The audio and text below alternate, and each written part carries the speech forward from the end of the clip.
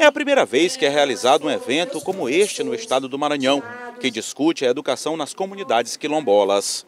Nós queremos é, que os nossos os professores que aqui estão, com certeza sairão com, com mais conhecimento, com mais tranquilidade para desenvolver esse trabalho na nossa sala de aula.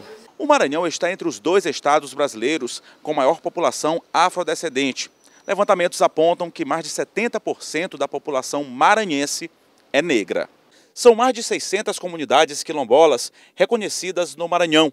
Uma das maiores está no município de Viana, na região da Baixada Maranhense, onde Iracilde é gestora. Essa é a primeira formação que nós estamos tendo aqui na área para que a gente possa entender a aplicação da Lei 10.639, barra 2003, que foi implementada no ano de 2003. Então nós precisamos entender a lei para que a gente possa realmente trabalhar em todas as escolas é, através dos professores e que essa lei realmente seja respeitada. O evento é dividido em três módulos. Este é apenas o primeiro. Os outros dois serão nos próximos meses, de outubro e novembro.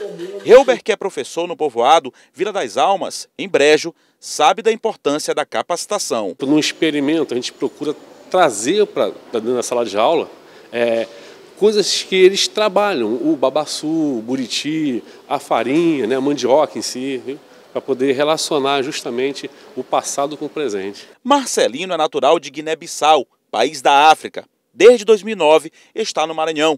É formado na UFMA e ministra aulas de História, Cultura e religião africana. A África é, não necessariamente é só aquilo que a grande mídia mostra, só aquilo que a grande é, é, a ciência, a academicência de forma geral, dominante mostra. A África é além de um país, África é além de uma cultura, África é além de uma só religião.